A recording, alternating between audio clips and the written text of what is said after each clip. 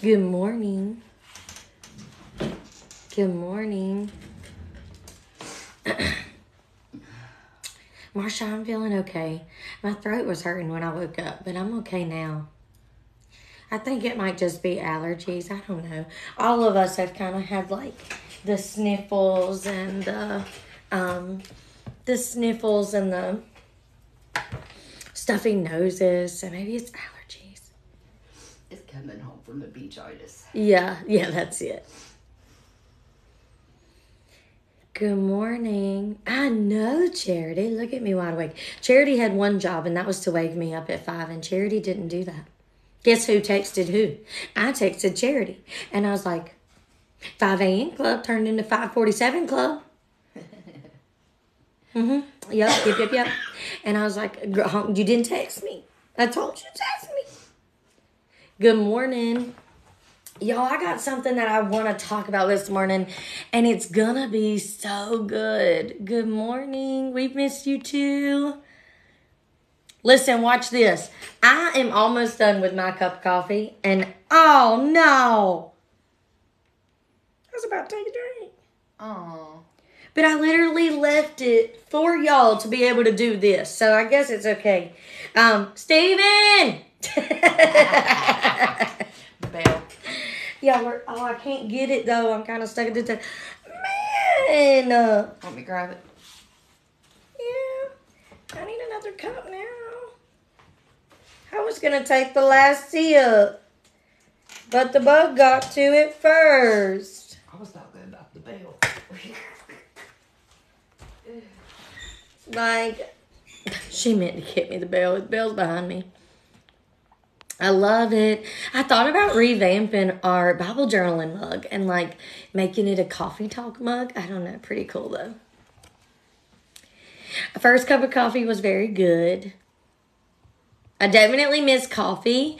Um, pop wasn't as as good as I thought it would be. Honestly, like Mountain Dew isn't.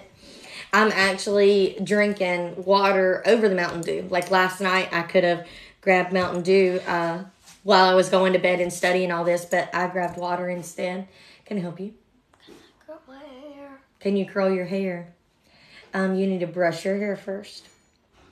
But as long as Daddy be in there with you. Okay. Good morning. Up at five now. We ready for workout? Um, no, not yet. One thing at a time. One thing at a time, friends. One thing at a time. Good morning. This morning we're gonna be in Genesis three. I got some really good stuff, and I got some things to share with y'all, and um, it's gonna be mind blowing. And honestly, this is another one that is we're going to talk about our children. And this is just all around confirmation for me. And this is just a study that I had last night. I was getting ready to go to bed, and then all of a sudden, um, I just started running across things, and I was like, oh my gosh, all this is so good. So good to the point I couldn't write it. There was too much on my mind, so I had to type it all out, which is why it's printed. Um, if you mean like, do I feel better, as in like, healthier? Most definitely. Most definitely. Yes, we did just start. We're going to be in Genesis chapter 3 and we're going to read a little bit, but I have some really cool things to share with you guys today. Really cool confirmation things for me. Um, but also, this is going to be really eye opening for you this morning. Um, it's going to be really good.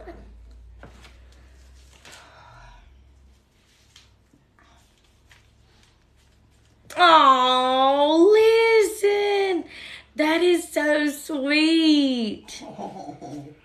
Stop it. That is so sweet. Baby, way to make me feel so special, but happy birthday. I hope you have the best day.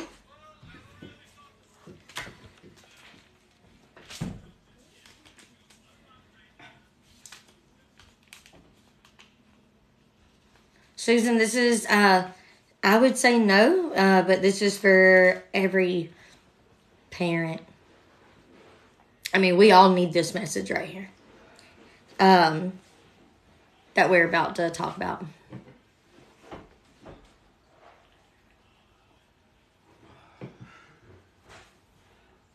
All right, you guys. All right, so Genesis chapter 3. Let's go ahead and read, okay? And then I'm to get into my notes that are to be so good. So, Genesis chapter 3. Now the serpent was more crafty than any other beast in the field that the Lord had made. He said to the woman, Did God actually say, You shall not eat from any tree in the garden? And the woman said to the serpent, We may eat of the fruit of the fruit of the trees in the garden. But God said, You shall not eat the fruit of the tree that is in the midst of the garden, neither shall you touch it, lest you die. But the servant said to the woman, You will not surely die, for God knows when you eat of it, your eyes will be open, and you will be like God, knowing good and evil. So when the woman saw that the tree was good for food, and that it was a delight to the eyes, and the tree was desired to make one wise, she took its fruit and ate it, and she also gave some to her husband who was with her, and he ate it. The eyes of both were open, and they knew that they were naked, and they sewed fig leaves together and made themselves linen cloths. Okay, you think, Kelsey, why are we reading that this morning? Uh, Just bear with me. This is all going to make sense. Okay, so why are we reading that this morning? Um, now I'm gonna I'm gonna pause for a minute, and I want to ask you a couple of questions. If your child come to you, for the sake of you being in the room with me, Okay. can I use you? Okay. And y'all answer for yourselves. Okay? Y'all answer for yourselves and you can put it in the comments, but Angie's right here, so I'm gonna ask her. If your child came up to you and said, Who created God? What's gonna be your que- what's gonna be your answer? He's always been. How has he always been? And it's okay not to know the answers because that's the whole point. He's always been. They say, How has he always been? That don't make sense. What do you mean? Well, he's the creator, or so he has always been in existence from even before the beginning of time as we know it. And that's where our faith comes in, Okay. having faith in a God that we don't know the, the origin from. Okay. All right. Oh my goodness, God is good and there is nothing before him. Okay. All right. Next question. Um, when, let's see, what was the ones I asked Steve last night? Um, oh man. What's the other ones? What is the other ones? Hold on. There's three questions. Um, how do you know who God is? Or, you know, when did he exist? And then there's other ones that kids ask us. So, how do you know the flood is real? How do you know the flood absolutely happened? Well, from one, the Bible tells me the so. Okay. And But the whole point is how do we know the Bible is true? Okay. Well, they have found remnants of the ark on the mountain where it landed. Okay. Um, for the sake of asking more questions, me asking you those questions, how did it make you feel? Unprepared. Oh, gosh, this is going to be good. Oh, because you just, yes. Okay. So you felt unprepared to be asked those questions, Yeah. right? Like, not, don't feel good. Okay. Right. All right. Question. You were raised in church all your life, okay? Right? Yeah. Like you were, you Right. loved it. Okay. Did they ever answer these questions? No. It's Did- always because the Bible says so. Right. Okay. Now, when I ask you those questions, does that feel like a good enough answer? Because the Bible says so. No. No. Okay. This is the whole point. Watch this. And just be prepared, my friends. The enemy isn't going to like this one. So just don't even watch the comments, okay? Because the enemy isn't going to like this one. I already knew last night that I was going to be under attack for teaching you guys these things. So I already knew that. So just keep that in mind and we're going to ignore every bit of that this morning, all right? Um, look, Angie's like, oh, I need to hear all this turned over. I already knew this was going to be like this. Okay, now what? All right, here's another question, Angie. Angie, I'm excited. All right. When do you think most people turn away from God? Elementary school, middle school, high school, or college? I say high school. You'd say high school? Oh, mm-hmm. that's good. That's good. Okay. It is. So most parents, watch this. Most parents, they go to church and they say, Hey, preacher, preacher, my kid's doing this. What do I tell them? My kid's doing this. How do I parent them better? My kid this, my kid that. Can you help me with this? Can you help me with that? Oh, I got the answer for what that. But wait, okay, let me back up. Let me read you my notes. The reason our children are turning from their faith in middle school and high school is that we expected the church to teach our children the answers to hard questions. And they didn't. Okay. And this is nothing against church this morning. I think you better get up. You better, you better get up. You better go on Sunday and you better go on Wednesday. But please do not rely on the church to teach your children the important answers. The reason, okay, that children are leaving their faith, the reason that people are, are going away from God is because when people ask them the hard questions, they have no idea how to answer. We are unprepared and we haven't prepared our children because we don't know how to answer those questions. So what is the reason why people are, are, are departing from their faith? A lack of teaching apologetics. Ooh. I know, like I know, like a lack of teaching apologetics. Nobody knows how to answer the hard questions. See, mine was uh, if you do that, you're going to hell. What? That's that was the the answer to. The Oh yeah, to all the questions. You're like to hell if you do yes, nobody wanted to tell you. And see, here's another problem. In church, let's say Sunday school, okay? Again, we're not we're not discrediting church. That's not what we're doing. You need a church home, go to church. I have a church home. I love my church. Okay? But in Sunday school, instead of teaching us the reality of evil and darkness and the answer to these hard questions, they're teaching us about an ark that had cute animals on it, and that's not how it looked. They're teaching us false re- uh, they're teaching our children false realities of what it really looked like. Yeah. When you go pick up a book about Noah's Ark, it's got a pretty rainbow on it and it's got cute little animals. Mm-hmm. That's not what it looked like. And that wasn't even the whole point of the ark. No, it wasn't. The whole point of the ark was it saved Noah. Like, listen, it, oh gosh, okay. So, but we've relied, listen, so Sunday and Wednesday teaching isn't enough. Okay? We're not teaching the answers to complex questions. Is your child, if somebody came up to your child today, if somebody came up to you today and said, How do you know the Bible is true? Are you going to feel prepared and ready, Freddie, to answer that call, to answer that question? Or are you going to be like, oh, well, um, they say so? Then, Are you going to know how to answer? And and answer in not yelling or being mad that they ask you the question, but saying, "Hey, I'm prepared for this moment. I know exactly how to answer this question. Let's talk about this." Because listen, the point the point of apologetics isn't to win the argument. The point of apologetics is to defend okay your faith which is what we're called to do in first peter okay? And i'm gonna listen it's good okay? Um it's what we're called to do but we're called to do it with humbleness and fear of god okay and love. So you don't do it to be right. You do it to maybe spark the curiosity in somebody's mind okay so that you can help them understand.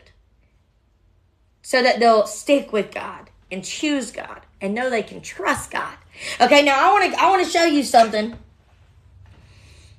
This is where we see Genesis 3. It only took the third book of the Bible.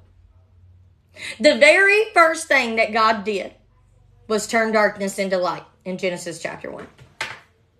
In Genesis chapter 3, all Satan had to do was make Eve doubt what God had already said. Now, I bet you've been taught that before, especially if you've been here with me because I've taught about it. But I need to say it again. I need you to hear it. What did Satan have to do? What was the only thing Satan had to do to make Eve sin and turn away from God? Make her doubt. Make her doubt. When somebody is asking your children or you the hard questions, what are they making you do? And you're not able to answer them. You're not equipped to answer them. You have no idea how to how to give them the answers that they're asking the questions to. What happens? There's doubt. There's doubt. Oh, You see what I was up? Uh-huh. Like, all he has to do is make you doubt. And you're not understanding the strength, let's say, or the hold that doubt has on you and your children. Most people, most children, the reason that they turn away is because when their friends ask them a question, they don't know how to answer it, and it plants doubt in their mind that it's real. And that gives the devil a foothold. And that gives the devil a foothold. Oh my goodness. He all he's got to do is plant doubt. That's okay. It's good, ain't it? It's all he had to do. And that's what he is still doing today. You think, you know, that, he, that is what he is still doing today. All he's got to do is plant doubt in our children's mind. If our children don't know how to answer the questions, I have no idea. Like, I'm over here, like, man, we're failing our kids. We're telling the church to teach them. We're going to the church for answers. Listen, if the church don't know the answer, find it for your children's sake. Otherwise, when their friends start asking them, hey, you know, how is this trustworthy? How do you know this happened? How do you know this? And how do you know that? They'll be able to answer. If you don't know the answer, if you're not able to teach your kids, they are more likely to doubt. They're more likely to doubt. Oh, you're cute. Oh, yeah, with the little bun in the back. Show them your ear. I did it all by myself. I comb my hair now. Go clean your ears, too. Clean your earrings. Get dressed for the Can day. the little hoops? No, let's not. Let's keep what they are today and clean them. Tomorrow we'll change them. In. Okay. I'm gonna put Thank you, ma'am. Okay. I gotta. I gotta get my hair up. Okay. Quit relying on somebody else to teach your children the answer to hard questions. Get the answers, friend. Look up the answers. Study the study the questions. Like there is answers to every bit of this. You just need to study them. You just need to study them. We're in Genesis 3. We are in danger of losing our kids and our kids losing their belief in God if we do not start teaching them the hard question. Because all they have to do is plant doubt. All people have to do is ask questions that they don't know the answer to, and doubt is planted, and then they are doubting that God is even real in the existence. You know, they say that, you know, it does say in the word that bring teach them the word, Uh-huh. uh, teach them the way to go, And they they'll are come older. back. Mhm. But why are they having to return? Because they didn't, they don't know the answers. Exactly. If you have them equipped for life, then they never leave. Well, mm, I don't know about that. Because sometimes they just get wild hair and they just going off on a whim. Granted. But they will come back. Like that's the promise is But- that they will come back. But if they were more prepared in the beginning, there's a less chance of them falling off path. Right. Like, yeah. Because if I'd have got the right answers, because I was one of those. Mm, Well, you kind of have the right answers. Um, uh, uh, the first question. I mean, that's that's a good explanation. It's explaining, and we'll go into these questions. I don't know if we'll get to get to them today, but I kind of do want to do a series on them. I used to have some really hard questions. Well, I want to answer them. I want to do a series on how to answer some of these questions because I'm telling you that you need to know them. Um, uh, it was just confirmation to me because I have known that I love apologetics and I have known that it's one of my favorite areas of study. And I have often thought, well, I don't really, no, I'm good. Um, but I'm gonna go back to school and get a master's degree. And they asked me if I wanted biblical studies or apologetics, and I wasn't sure. I'm I'm now 100% sure because I, the way that God gave me the skills and the ability to teach the way that I teach so that I can help people understand what apologetics is and say it in a way that people actually get it. Because let's be honest about this. I've listened to certain people teach apologetics and I'm like, you know, what did they say? That don't make no sense. Y'all ever done that? Y'all listen to somebody and I'm like, what did they say? I don't really feel like I got an answer for that. You know what I mean? So he gave me the ability to teach the way that I do so that I can for lack of better words, apologetics for dummies. like like for lack of really though, like that is because I don't do big words. Like y'all know that. I'm dyslexic. I can barely read them. I need things brought down into the dumbest possible form for me to be able to understand. Same thing. I mean, really, it's the we're just trying to over overcomplicate things. So, anywho, um, this is totally confirmation for me, and I just I love it. And I also wrote down we need to prepare our homes and childrens to base their lives on the Word of God and defend why they do so. We need to be able to equip our children that when they get to middle school and high school, and see, a lot of us don't even start teaching our kids these concepts until middle school or high school because we think, oh, they don't know it. They don't need to know it in elementary school. Yeah, they do. Yes, they do. You're not giving them enough credit. If I brought my son in here right now, my son is in elementary school. He is in fourth grade. Um, if I brought my son in here right now, he could tell you all about the enemy. He could tell you what his position was before he became the enemy. Do what? Yeah, I can. Yeah, you can. Like, he can tell you all kinds of things about the Bible that you didn't even know. They do need to know in elementary school. If you wait until there is a problem to teach them, you've got a problem. Because they're less likely to hear you. They're less likely to listen to you. The older they get, the more the children want to go off on their own. Teach them in elementary school. Because if you don't do that, they're not going to know how to defend their faith. And they need to know how. And defending their faith, that is what apologetics is. Again, let's make this so clear. It's not to argue with somebody. They won't be going into these conversations to argue with somebody. They're going into it to say, hey, this is the reason I believe what I believe. And I'm going to stand firm in that because I believe God and I believe His word and I believe everything that He has ever promised me or given me. And I'm not wavering on that. That's what it says. It isn't meant for your child to convince the other person. It is simply meant that when we're getting ready to get to it, that when the wind blows and the storms come, your kids have a firm foundation. Now let's get into that. Watch this.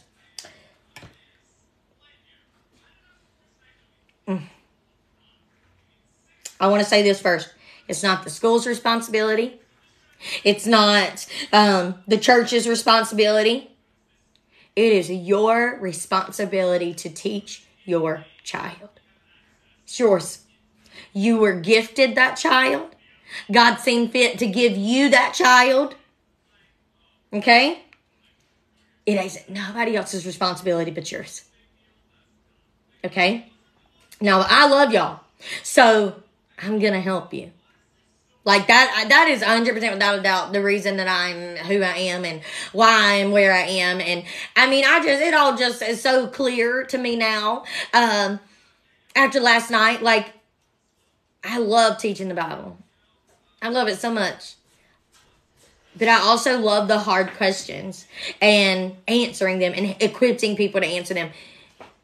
I'm going to fill the gaps where others have let you down because you may know your Bible, but you still don't know how to answer those hard questions. That is a problem. Because all the, what did we just learn? All the enemy has to do is plant a little bit of doubt. And if he can just plant a little bit of doubt, it can destroy everything because you don't know how to stand on it. Now, let me prove my point. Christianity was removed from the classroom, but watch this. This is this is good, Angie. Watch it. Religion wasn't removed from the classroom, Christianity was. You're right. I know.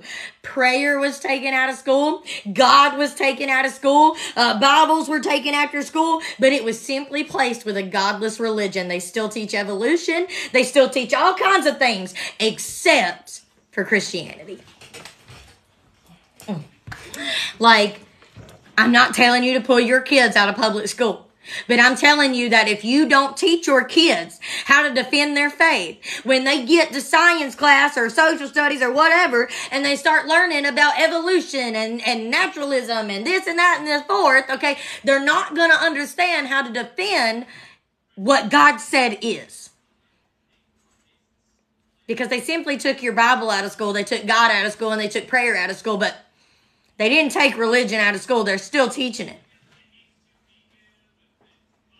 So I'm not I know that everybody can't homeschool. You still using these? Yes. What do you need those for?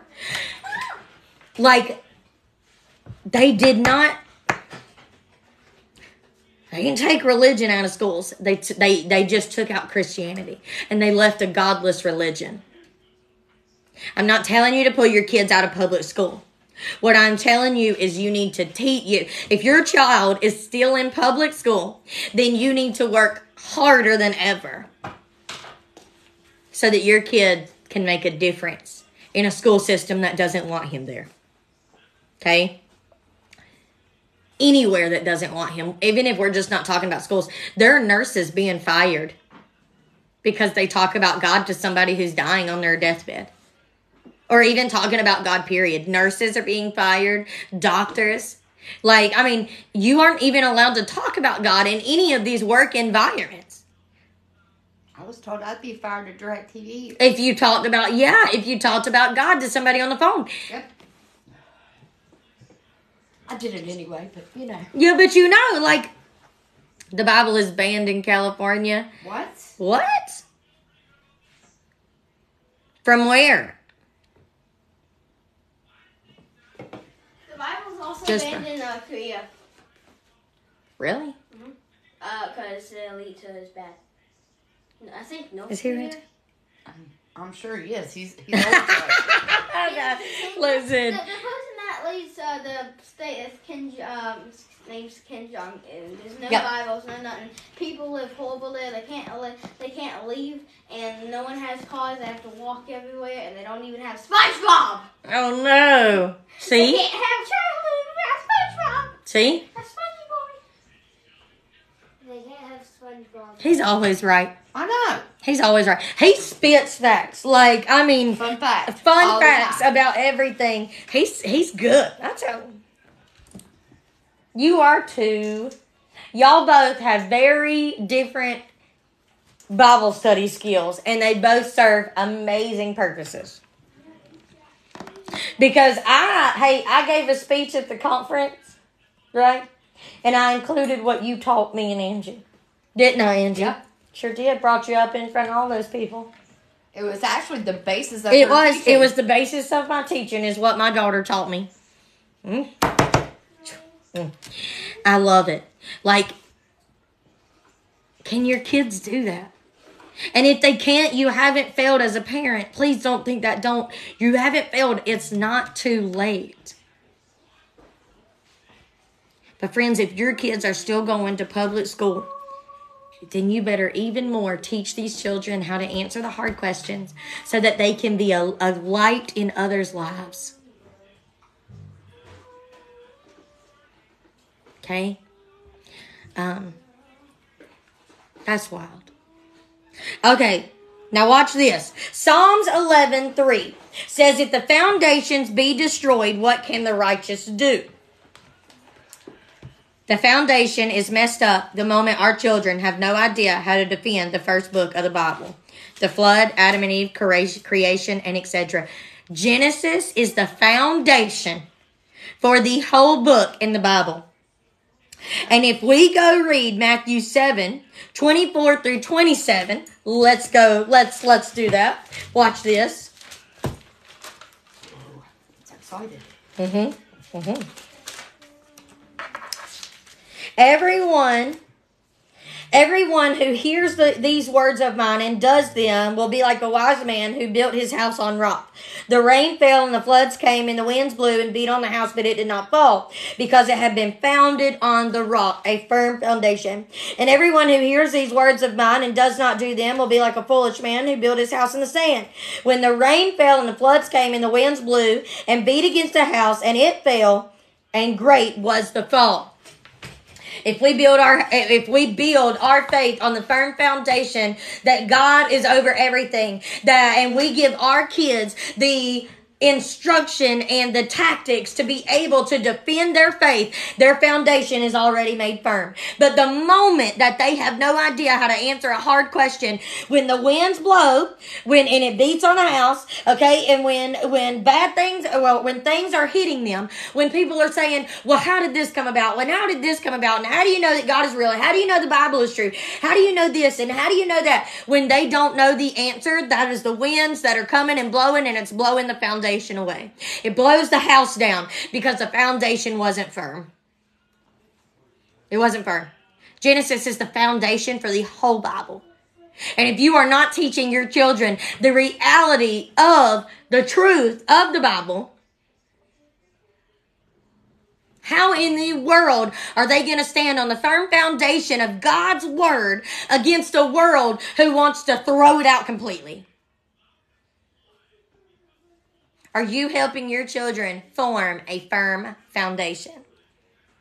Are you giving your kids the the tactics, the the uh, the ability, right? Are you teaching your children the things that they need to be able to to or are the the how do I say? Are you giving your children the resources to be able to answer these hard questions? I want to just ponder here. Um, raise raise your hand in the comments if you feel like this is you. Okay. How many of you don't even, as parents, don't have a clue how to answer those questions? Raise your hand in the comments.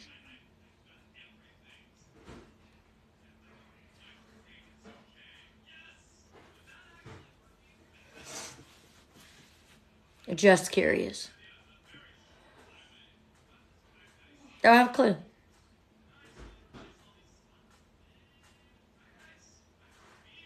I mean, look at that.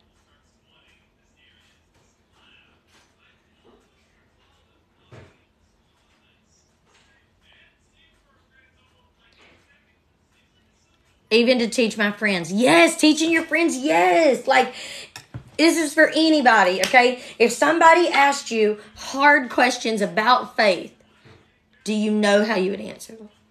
Raise your hand if you have no idea. If anybody asks you that, it's hard. I mean, you did pretty good. I, I, but I'm around here. I know that's your advantage. Like that is your advantage because I'll be like, let me teach y'all something. I mean, I will go through this house teaching my whole family something. I can't even. If it sparks my interest, I'm going. The whole house is gonna learn about it because I'm gonna go to each individual person and prove my point over and over again. It's so funny. Like I just get too excited. Um, but it's hard, ain't it? It's hard. Now I'm gonna ask you another question. Okay, throw up a different emoji uh, in the chat. Okay, uh, any any other emoji, just a different one than a hand one. How many of you was raised in church, Sunday school, all the things, and still don't know how to answer these questions?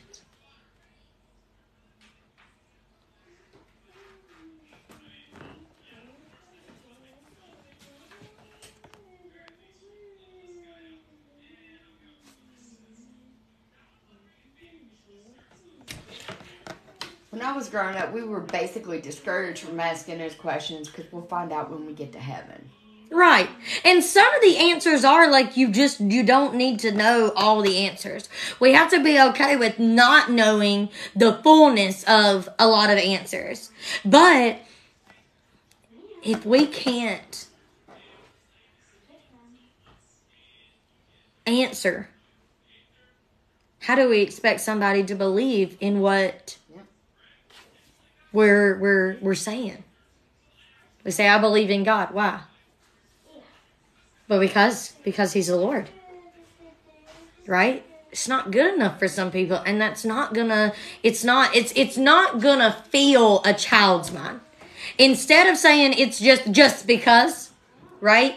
It's gonna flood a child when child gets to school, they're gonna be like, Well, I'm doubting. And what did we learn from Genesis 3? It only takes what?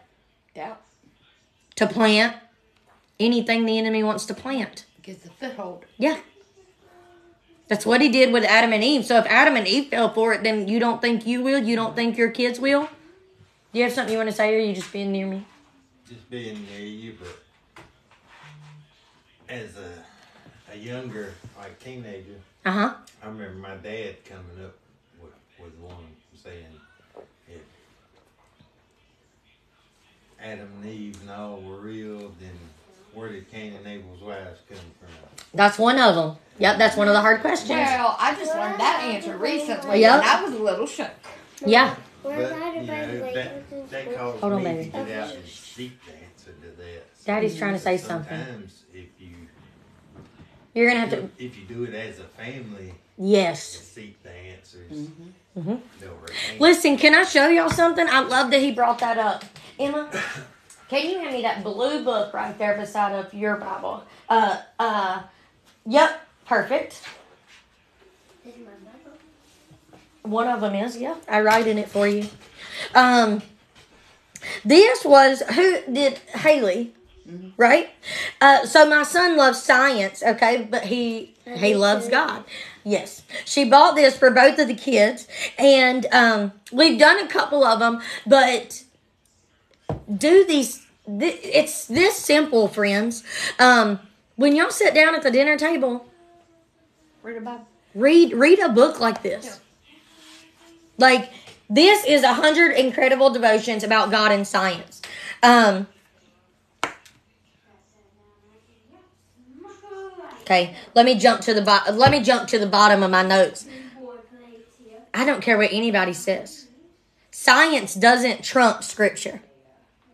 Actually, many have tried to set science against scripture. But truth is, science has never disproved one thing about the Bible. It never has. Not one. There was actually a scientist, uh, it was a little boy, actually, who went up against scientists and he proved the Bible was real using their own science. Yeah. Yeah, and it scripture always speaks with what? What is scripture? G- Scripture is the inspired word of God, Right, which God has all authority. right. Okay? So scripture always speaks with authority. Yeah. It never disproves. This is the book. Um, How Great is Our God? A hundred incredible devotions about God and science. One of the first ones we read was about the Goldilocks effect and how every single one of the planets are all perfectly aligned. And if any of them were just a, smidge off, we couldn't live here on Earth. It's called the Goldilocks effect. Everything is perfectly in line. Everything is just. It's right. just right. Because if it wasn't like that, we couldn't live here. You love this guy's books? I've never read any of it, but this, but it's good. But these are answering hard questions, and I mean, in a kid's form, like stormy weather. Um, Job actually teaches us how it teach us that lightning comes before the thunder, even though it seems the other way around. I think um, it's really not, and even Job knew that. Why are you looking at me like that? We studied that.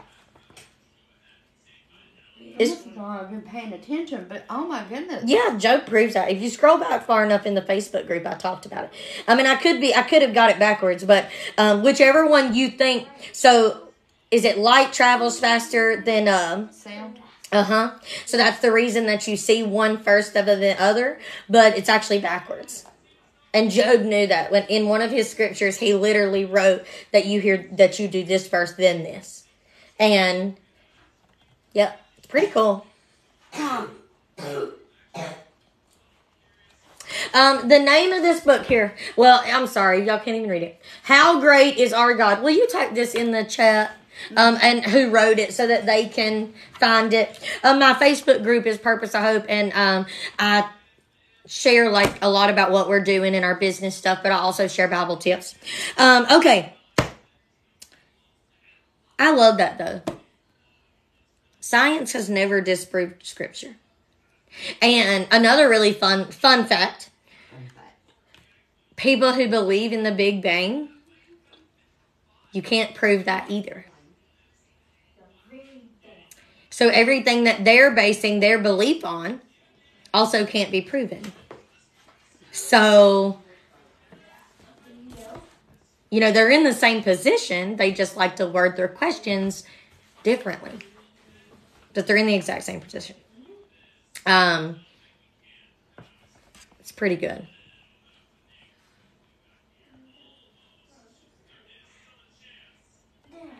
Science is study of God's creation. Yes.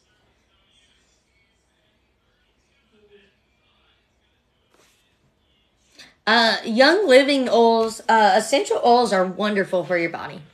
They are wonderful for your body. I love essential oils. Um, essential oils are not evil. I mean, it's just like the rock that was used in Cain and Abel. The rock wasn't evil, it was how it got used. That that made it bad. Oils are the same thing. Is anything in life is the same thing. It's how you use them. Um, but items are neither good nor bad. It's how you choose to use those items. In your heart posture when you do it. Mm-hmm. Yep. And I bought all those Young Living those a long time ago, but Young Living is also one of the only companies that um, gives oils that are digestible that you can actually put in your water and stuff. But yeah, I, I love doTERRA. I do now prefer doTERRA over Young Living. I have lots of doTERRA oils. Um, these are all like super old. I used to really be into all of them, and now I'm just into the basic ones: peppermint, lavender, lemon. Um, frankincense is actually really good, but it stinks. Um, but then a couple of other ones, but doTERRA is like my go-to now. Much more affordable. Um, just my preferred preference. Yay! You use both? Yeah, see, I do too. And uh, quit now. I will. I think I'll continue to do that. Evil within the company. There's evil within all companies. Um, if you're being honest. I mean, you still shop at Walmart. And eh, you know what? Actually, something I was studying last night didn't put it on here. Um, most Christian colleges that claim, do you know? Okay, fun fact again. Harvard and Yale used to be big Christian colleges. And they were ran by, like, the president of those were only like pastors, ministers, reverends, all that. The minute that they compromised and let somebody in that wasn't a pastor, a minister, or anybody in authority, so to say, uh, as far as teaching scripture goes, is when it all went downhill and Christianity started being removed. So I think even with every company, you will find something that's just not good. Um, granted, I don't buy a lot of Young Living. I don't buy a lot of nothing. I don't really spend a lot of money, but I don't think that you need to uh, like. No matter if you shop at Walmart, I can promise you that some scandalous stuff is happening up the line. I mean, that can be promised with every one of them. Liberty University is a renowned Christian college. Yep. There has been a lot of controversy on how they run their college. Mm-hmm. A- Anything that that has God involved, they're going to find something wrong with it to try Yeah. to bring it down. Yep. That's also true. Um. Also, though, too, it's like um, it's also too though it is um. Stop. It is uh, you know what are the we don't honestly know the real requirements to hire the professors, right? So, do we test their knowledge and their beliefs before we give them the job? Probably not. And in the instance that they don't do that, you'll have professors in there that are teaching things that are completely absurd. But if we don't um, seek, you know, the way that they are, the way that they teach or what their beliefs are, then corruption is easily going to fall in. You know what I mean? So.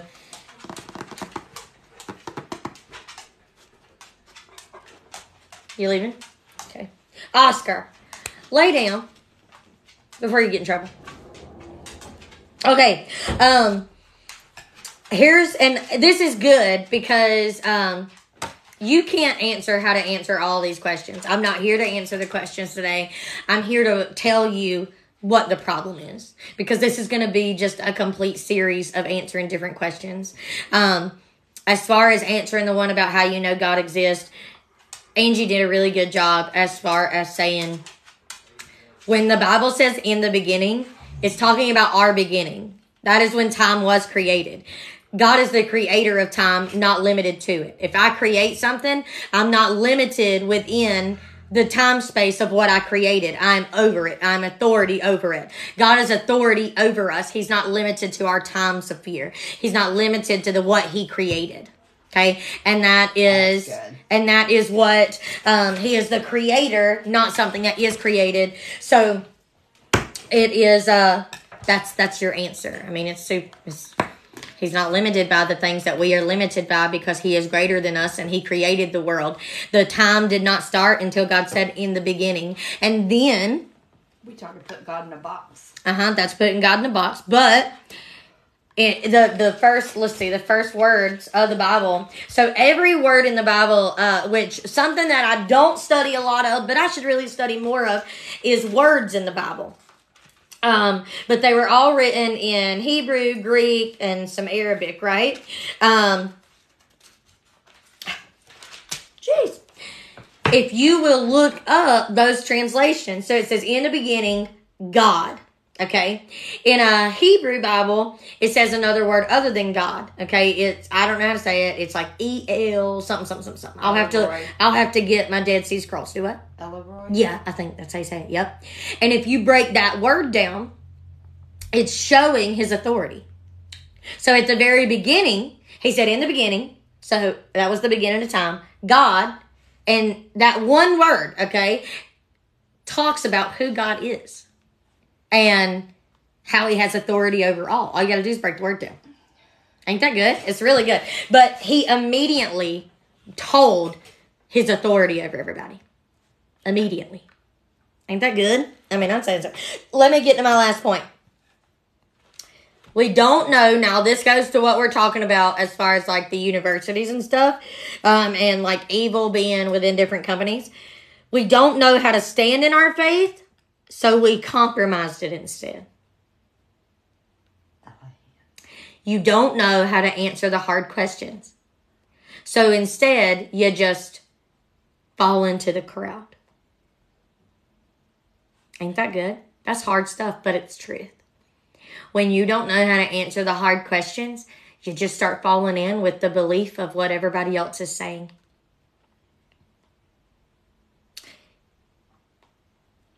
Like like marriage being between uh, a woman and a man. You don't know how to explain that to somebody. So instead, you just fall in with saying it's okay if it's not like that. And that's not how God created it to be. Right? So, what did we do? We gave up on the fight. We gave up on the ability to defend our faith and instead just started saying, I'll compromise it a little bit. I'll compromise it just a little bit because because I don't know how to answer that question that they asked me. So I'll just compromise it a little bit and I'll tell them that, you know, uh, all is well. All is well anyway. It's not well when it's planting doubt in people's minds. And if you fall in with the compromises that the world is trying to, to undergo with scripture, then all you're doing is creating more doubt. And doubt leads people away from God. Right? So it's, we decided we wanted to fit in and be liked, not stand outside with God. We decided that we don't know how to answer the hard questions. We don't really care to know how to answer the hard questions. We'll ask the hard questions, but will we seek for the answers? And in the instance that we don't, and somebody asks us a question and we have no idea how to answer it, we're now compromising on our faith and we've planted doubt, not only in others, but in ourselves. And Genesis 3 done proved it. It only takes a little bit of doubt. And the enemy done sneaks right on in. All throughout scripture, we talked about it a couple weeks ago matthew chapter 4 um, when satan tempted jesus. All he had to he was trying to plant doubt. He appealed to jesus's hunger and eyes and pride all that right? He used his humanness to try to confuse him and create doubt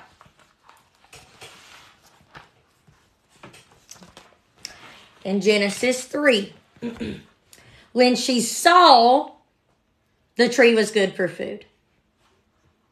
He appealed to her hunger and that it was delight to the eyes. He appealed to her humanly pleasure, humanly wants, and that the tree was desired to make one wise. He appealed to her desire to be more, Just like you did with Jesus. just like he did with Jesus. So, if it only took the Genesis chapter 3 and of the gospel, Matthew chapter 4,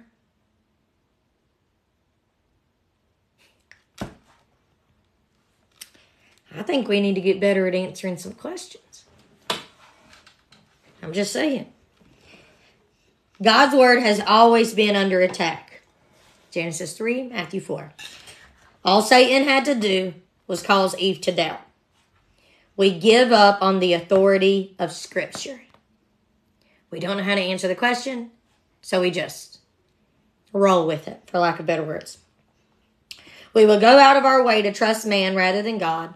We meet the world halfway when we stand with the world and with God. We can't do both without being lukewarm. Yes. And what does the Bible say about lukewarm? Do what? Spit out. Do what? Can't serve two masters. Mm-hmm.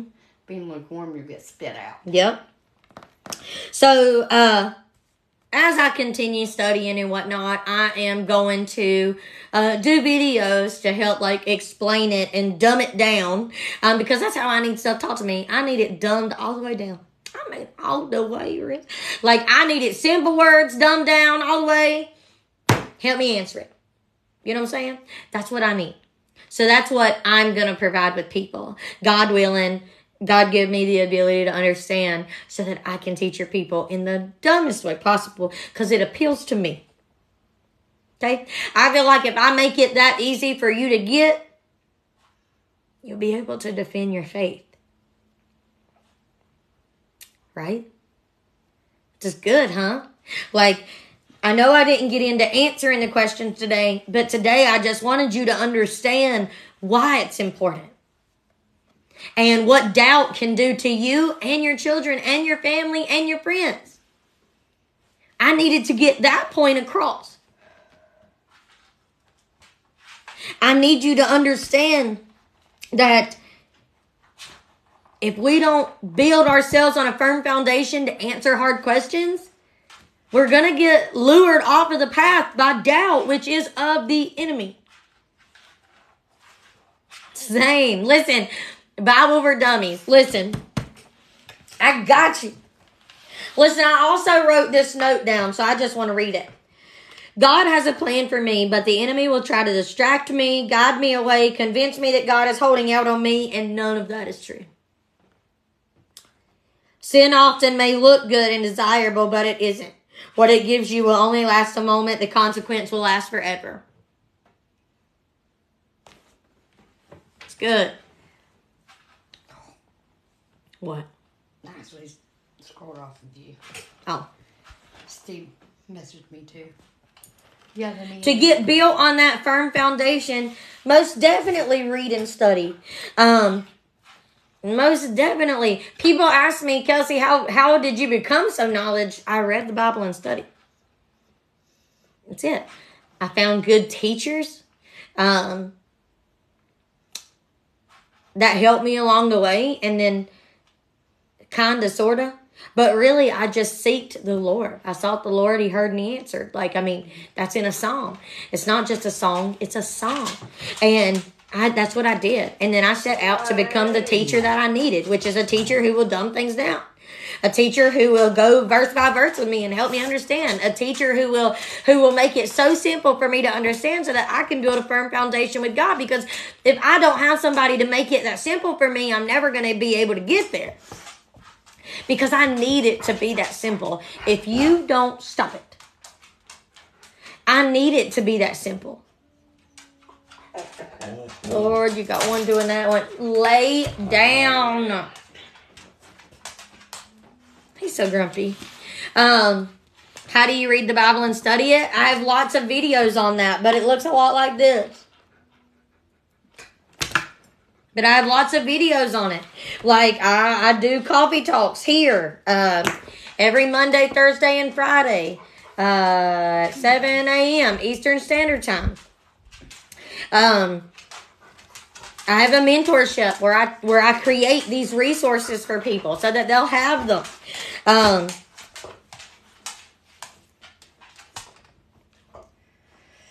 but my friends, uh, not only well, we're to go ahead and start digging into these things. Um, I'm to go ahead and start learning these things and building a reference to be able to teach people these things. But um, I am super excited that I will, in fact, be going back to school um, to get a master's in apologetics. Open the door like that door and put him outside the door. Oh, Whoa! Okay, my goodness. He was. Look, he's gonna get mad that you didn't come with him, and he's gonna open the door. Ah, ah, ah, ah. That's funny. Steve said to remind you of the meeting with the newspaper dude at nine thirty. But I have Zoom at nine thirty. Oh, you do. Yeah. Oscar. I'll have to I call him about it. Yep. Um, can this be a part of our kids' night? Um, yeah, we can go over like different things about God in our kids' night. That's really that'd be really cool. I like that, Adrian. That's a good idea. Like teaching kids different answers to hard questions. I really like that. In our mentorship, uh, we we have a kids' night where I'm gonna let the kids come on, um, and uh, give them a lesson of sorts so that I can help the parents teach their children. Um, thank you so much.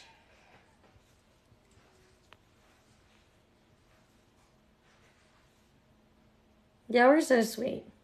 The membership's 25.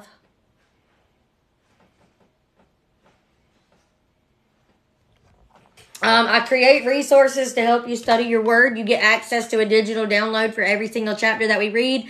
We pick a book and we go verse by verse through the whole book. Um, we do three zooms a week. We and they're all recorded so you can watch later. There's tons of fellowship. There's things we do together as a family for fellowship. Um, there's kids nights. There's couples nights.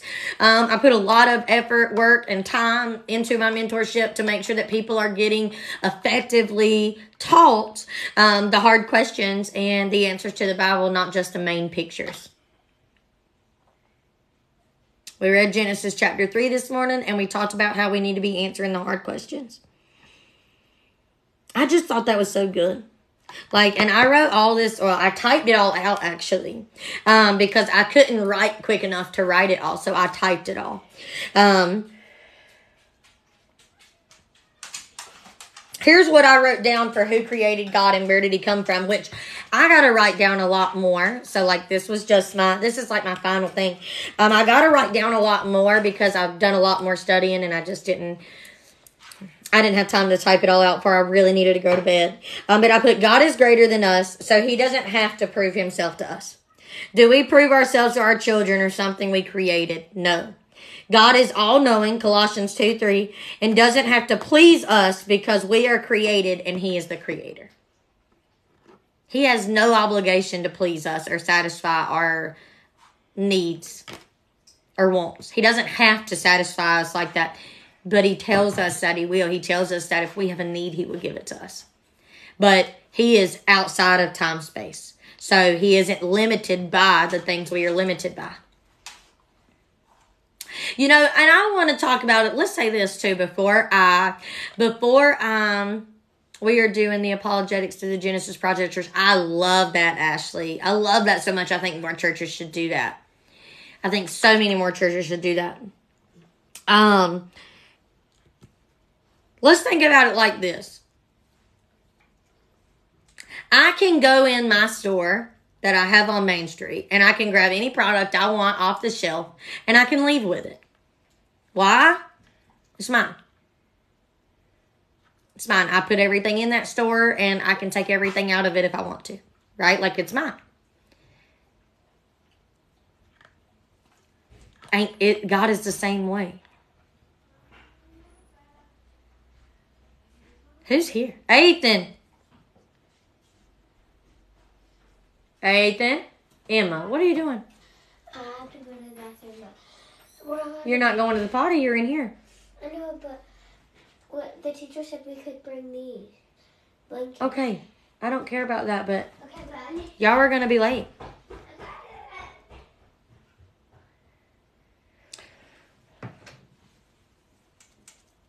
I don't know what I was saying. Oh, God is the same way. He created everything within the world so he can give and he can take. And that's exactly what Job says too. I also read something else. I know I'm throwing a lot at you, but um, I really, really loved this too. A lot of people that ask how do they know the Bible is true, there's a lot of components to it. And I'm sure we'll go over it later. But my favorite thing that, that I learned was that there's 66 books in the Bible. All was written at a different time by a different person in a completely different place. Right? They didn't even know each other. And yet they aligned perfectly. And it all pointed to Jesus. And it all pointed to Jesus. They all said the same thing. They all said there is over 300 prophecies in the Old Testament that points to Jesus. And Jesus fulfilled all 300. Yeah, he did. All 300. And the probability of him doing that was hardly anything. Nobody could do that unless he was Jesus. Like a lot of, and a lot of people also like to use like, well, it was copied over and over by a whole bunch of different people. So how do you know that it's true? All the manuscripts that have ever been found, the only thing that made them different was there were 16 things that made them different and it was all simply the way the language was wrote it didn't have to do the words were not different. It was the letters. It was the lines and the marks. That's the only thing. That's it. That's it. The the the words. Yeah the accents. The words all lined up. All the manuscripts that have ever been found they all align. That is crazy. If you i mean i will even say this. If i wrote something down on a piece of paper and i said here angie write this down she's going to change it and then angie hands it to somebody here write this down they're also going to change it especially if you're handwriting it because it's a lot to handwrite you know what i'm saying so we're going to shorten it if I tell you a story and you go tell her a story and then she goes and tells a story and then she goes and tells a story, that story is so different by the time it gets to where it's going. Yep. But this was not the case with the manuscripts of the Bible.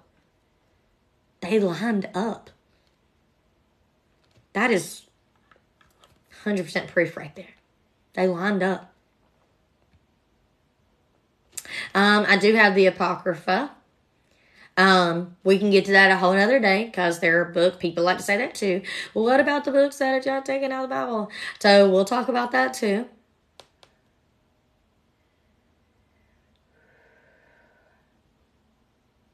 Yes, I love it, Adrian. I have no idea who that is. Chuck something other. I don't. I don't know who that is. Oh, Ethan forgot his book bag.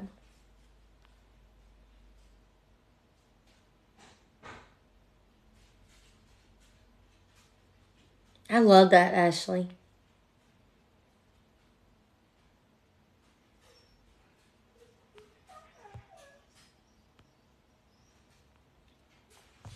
Um, I will be working on it this week. Homeschool Master Books has great resources. Stephanie, I love that. I'll have to look that up. I ain't even homeschooling my kids, so to say. There's just way too much evidence. There is.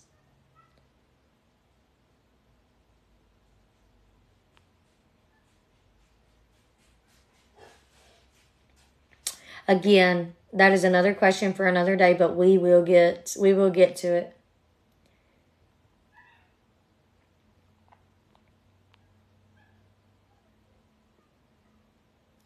I did. I'll look him up.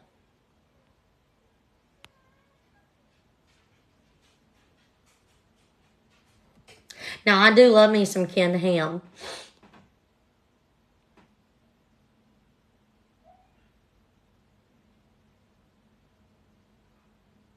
Sometimes it be like that, girlfriend. Up and down. It just be like that. I love that so much. I love that too. I agree. The air in my lungs right now, no denying he is real. Scripture says that if even if you just look around in creation, you'll see God everywhere. You'll see God everywhere.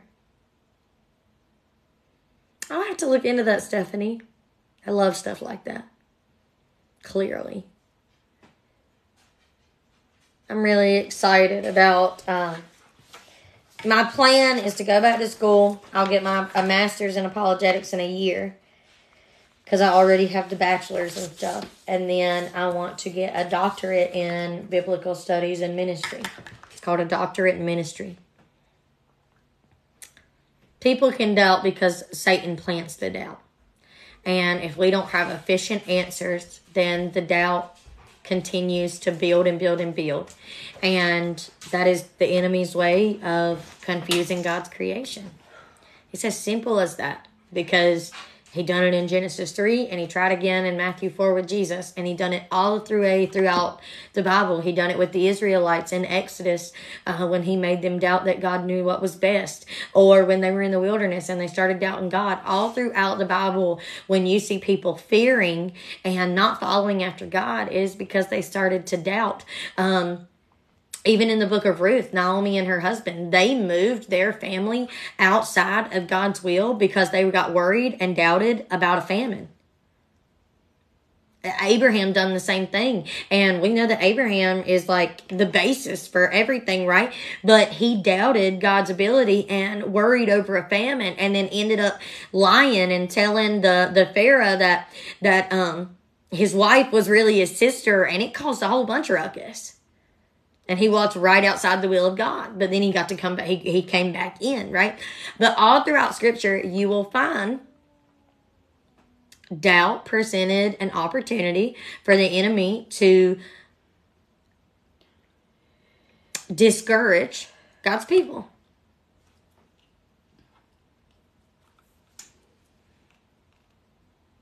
I don't want to be a pastor, no. It's not my plan. I just want I want to write books. Um, I want to write books, and I want to be able to. Uh, I just want to be able to do whatever God calls me to do. Really, like that's what I'm here for. Um, I want to go back to school to get the credentials that I may, in fact, need one day um, to walk into a position that God calls me to. And right now, I definitely. Um, I put it off for a very long time and didn't want to do it. And He has put it on my heart that I, in fact, need to do it. And so I'm going to. And I have no idea how God's going to use it, but I'm just going to be here for it. And um, I have no desire to be a pastor. I just want to write books and teach people. And um, I'm I'm pretty excited about being able to be a college professor when it's over, to be honest with you. I like love that idea. Um, but I have no idea where God's going to call me. I just want to be prepared and ready when He does. Oh, you're so sweet. Thank you. Yes, you can ask a question.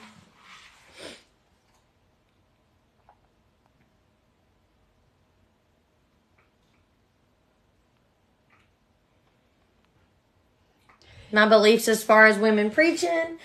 I think people don't. Um, I think that when you're studying that, you should really consider the cultural of the time. You should understand what is being applied. Um, and how Paul is saying the things he is saying. But he isn't saying that women can't go out and teach people. That isn't what he's saying. And Um, a lot of people use the defense. A lot of people use the defense that uh, women shouldn't be head of man. Okay, women will never be head of man because I know that um, Eve came from Adam's rib. Okay, we know that. We know that man came first and then woman came. But we also know that perfect balance was created when no other man could come besides from a woman. So because you can't have any other children in this world without having a woman and a man together. Okay, so and a woman has to carry and deliver the children. So that is God's way of creating perfect balance. And if you read in Romans, you will understand that um, there was a man and a woman who both let they were married and they led a church in their home. Um, Mary was the very first person to ever, he said, go out and tell the disciples. She was the very first person to ever deliver the gospel message. So I don't think it's being head over anything. I don't think um, people look at a pastor as being the head over a church. I look at it as they're the face of the church because I'm, I don't ever feel to be head over anybody. Me and my husband bring, um, we both love to study the Bible, and he has his way of doing it, and I have mine. And when we bring together those two abilities to study, we can reach so many people. So instead of thinking of it as one is ahead and one is below, um, we don't see it like that because we were all made equal through Christ. That also says that in Romans, and it says that women and men um, were made equal to stand beside of each other. So I love that. I feel that simply by doing what God created us to do makes us all teachers. I love that.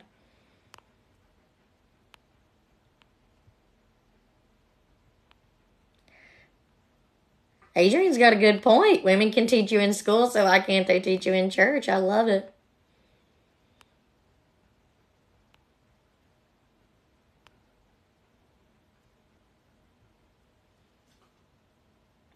Is our main i feel like our main um, debate on women shouldn't preach is simply because it says that women shouldn't be head over man right? Women shouldn't teach men. Um, we'll really break that down. What does that mean? I'm just let's put that in the comments. Let's really break that down before we get off here. Women shouldn't teach men. What does that mean? Quit oscar what does it mean that a woman shouldn't be able to teach men? So, are you saying that women shouldn't be able to teach men how to manage money? Should women not be able to teach men how to do laundry or do the dishes?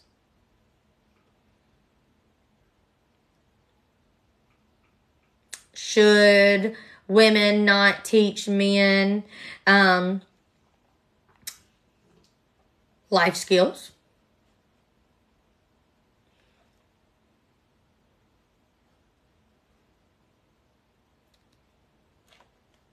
I mean, I'm just question. I'm just asking. What? Why? What makes women not be able to teach men?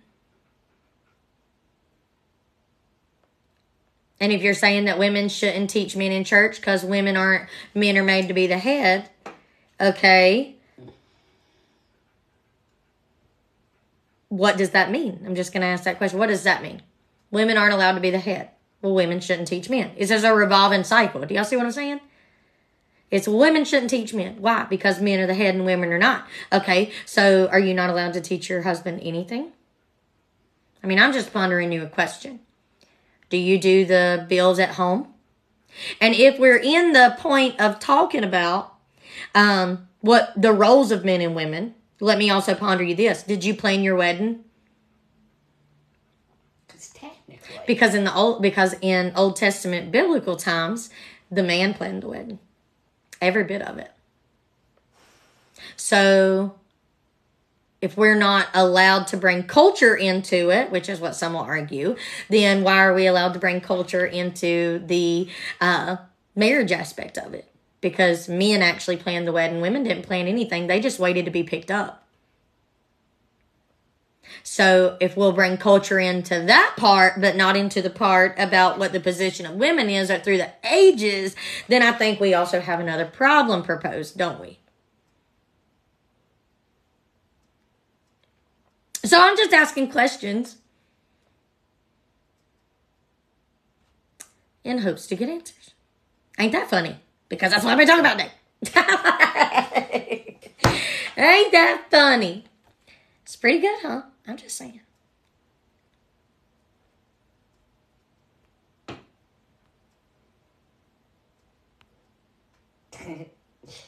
Should make mic drop. But I mean, really, I'm asking the questions and nobody's offering me any solutions. I mean, let's just really define that. What does that look like? Because I don't feel that.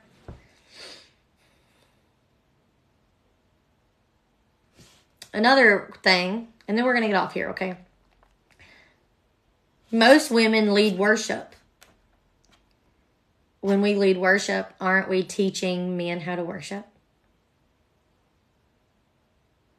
Because uh, most worship leaders are women. Our worship leader's a man at our church. It is. He indeed is. He's great. But I'm just saying.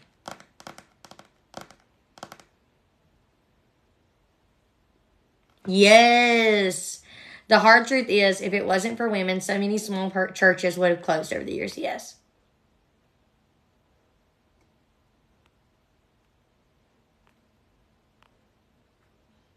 That's good, Amanda. Perfect deception of the enemy to disqualify 50% of God's army. That's pretty good. Talking about like the women. Oof, that's good. Yes, and it started with children coming to church. I love that.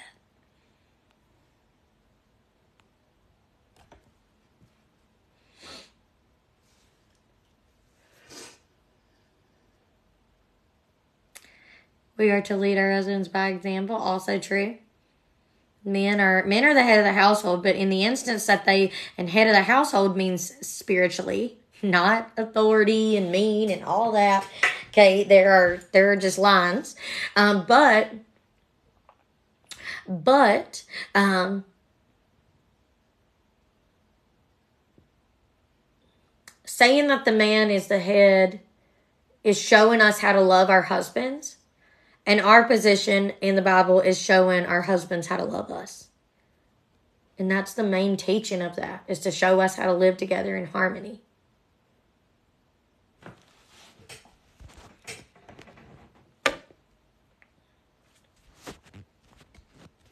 Hoosers. We are called to lead our husbands if they're not the leaders of the household. We are called to lead our husbands until they are willing to step up. But see, as women, we should humble ourselves enough to also know that if our husbands are not in the position that God called them to be, we should be their biggest supporter to get them to the position that God has called them to be. And I firmly believe that.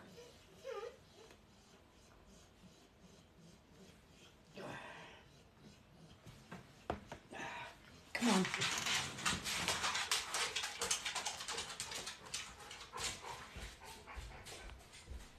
We all should tell the world about Jesus. That's literally all we're called to do.